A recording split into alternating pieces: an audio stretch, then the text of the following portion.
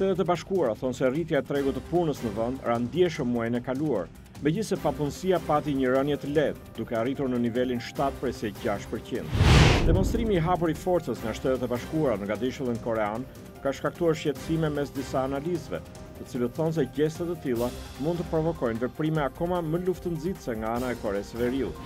Njoftohet se buxheti i ri i propozuar nga Presidenti Obama parashikon pakësime në rritjen e programeve të tilla si sigurimet shoqërore dhe kërkon që të pasurit të paguajnë më tepër taksa.